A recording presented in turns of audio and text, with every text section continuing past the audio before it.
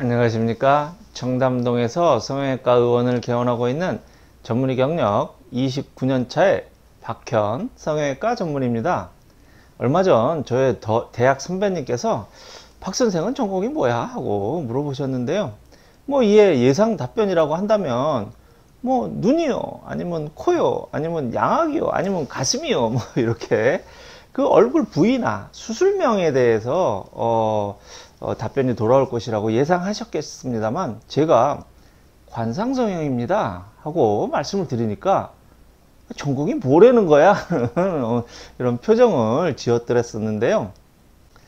어렸을 때 말을 배우기도 전에부터 나그네 옷을 벗기기 위한 북풍과 햇볕의 대결에 대한 이숙 우화를 어머니에게서 들었었는데 그 왼쪽이 물리적인 완력을 이용해서 막 옷을 그냥 벗기려 하는 것이라면 오른쪽은 순리에 따라 저절로 옷을 벗기게 한다는 내용이었더랬습니다.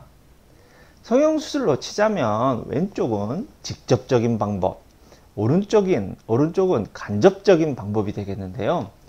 눈, 코, 가슴, 양악 등이 왼쪽이라고 한다면 관상성형술은 오른쪽 방법이 되겠습니다.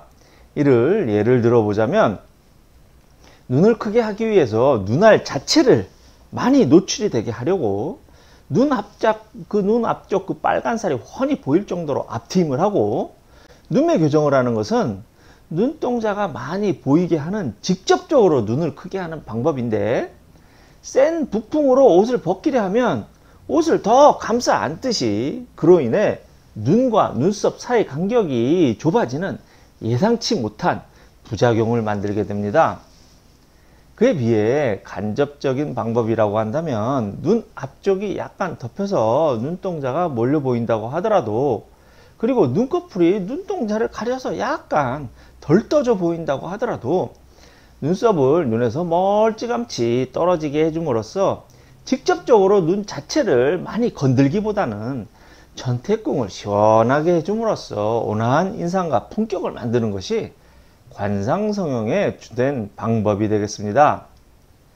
중년에 팔자주름이 생겼다고 할 때에도 팔자주름을 직접적으로 공략하여 필러를 주사하게 되면 팔자주름이 융기되면서 인중이 길어지게 되고 입가주름 필러로 꺼진 주름이 펼쳐지게 되면 입꼬리가 떨어지는 부작용이 발생하므로 꺼짐 동시 융기와 하관 받침이 필요하다고 말씀드린 바 있는데 이러한 간접적인 방법들은 그냥 단순하게 물리적으로 옷을 벗기는 방법에 비해 이해하기가 조금 좀 복잡한 단점이 있긴 하겠습니다.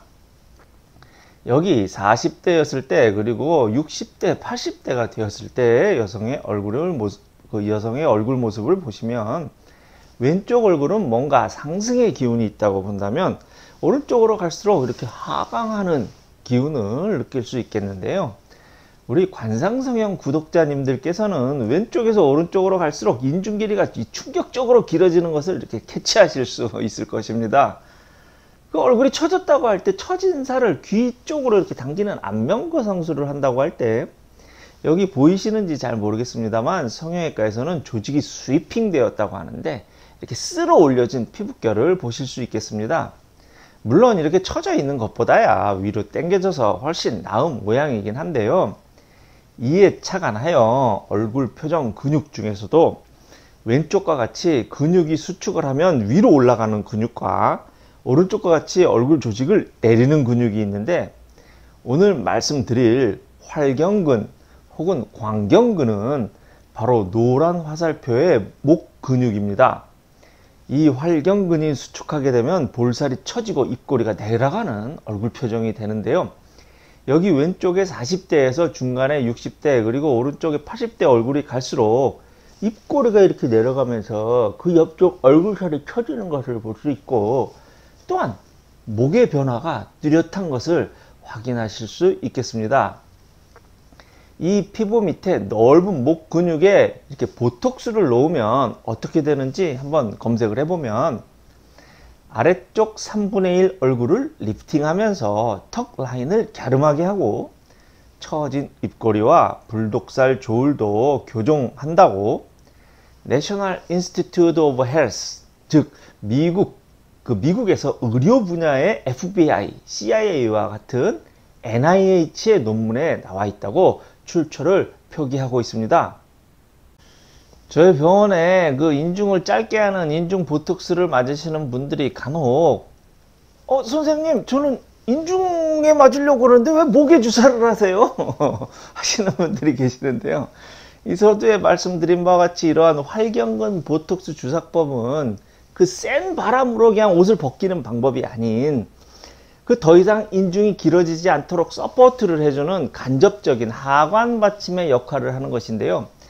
가령 예를 들어서 설명을 드리면 사각턱 보톡스를 그 사각턱 교근에 맞는 것은 직접적으로 얼굴을 이렇게 작아지게 갸름하게 하는 방법이고 목에 있는 활경근에 활경근 보톡스를 맞는 것은 얼굴을 이렇게 리프팅을 해서 간접적으로 갸름하게 하는 방법인데 이는 사각턱 보톡스 부작용인 그 볼처짐도 예방하면서 입꼬리도 상승하게 하는 그 자연스러운 보톡스 방법이 되겠습니다. 감사합니다.